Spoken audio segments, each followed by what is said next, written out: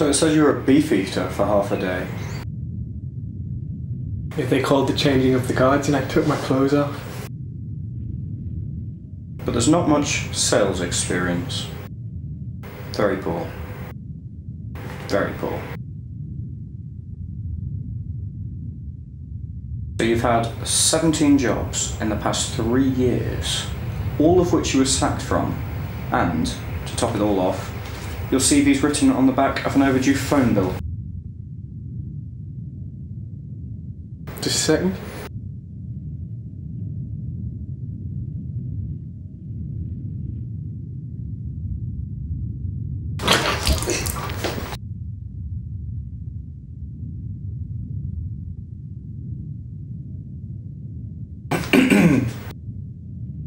Confucius says, choose a job you love, and you'll never have to work a day in your life.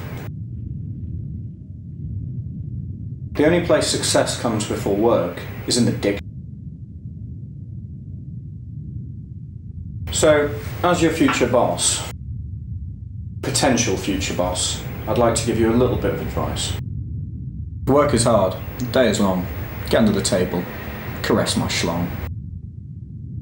If I give you the job, don't call in sick, or the very next day you'll be eating my dick.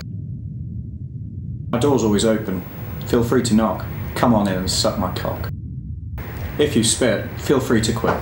If you swallow, I'll see you tomorrow. So I, uh, I think that went well. Can you do me one more thing though? Can you open your mouth, please?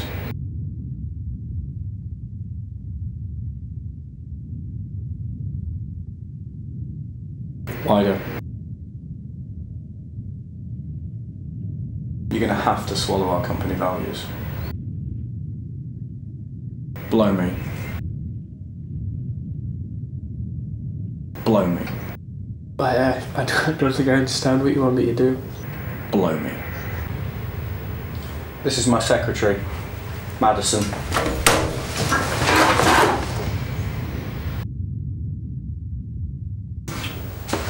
Perfect for foot jobs.